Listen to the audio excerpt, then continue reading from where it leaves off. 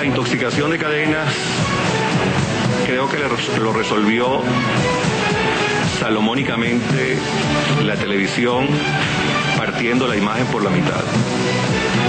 Eh, me parece que fue una salida inteligente, es esa forma creativa con la cual en algunos momentos podemos resolver algunos conflictos que no están en las leyes.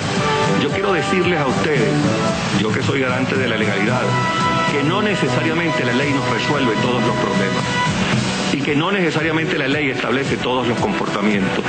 A veces hay que ser creativos frente a las situaciones y en ese sentido yo creo que la realidad nos ha dado una solución, si no mágica, por lo menos factible frente a un problema que podía entenderse con otras características.